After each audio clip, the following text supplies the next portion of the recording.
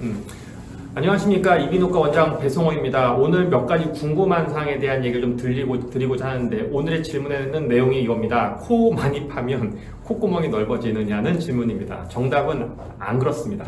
뭐 물론 하루 숨을 뭐 낮에 깨 있는 동안에 열대 시간을 막 계속 후빈다면 늘어날 수도 있겠지만 여러분이 팔을 막 이렇게 잡아 당긴다고 해서 이게 막 쫙 늘어날 수가 없는 이유는 이 조직이라는 게 사람 피부라는 게 한계가 있거든요. 이거는 뭐냐면 연골로 돼서 연골. 어, 연골이라는 게 뭐냐면 이렇게 물렁뼈. 우리 왜 갈비 같은 거 고기 먹으면 물렁뼈 있는 거 있죠. 되기 때문에 이게 무한정 늘어날 수가 없어요. 그러니까 이것도 연골로 돼 있기 때문에 뭐 그렇게 아주 조금 늘어날 수 있겠지만 뭐 애기들 우리 애가 코를 자꾸 파는데 콧구멍이 넓어질 거다? 아 그거는 솔직히 말하면 너무 하루에 열대 시간이 아니라면 거의 불가능한 얘기. 너무 걱정 안 하셔도 되겠습니다.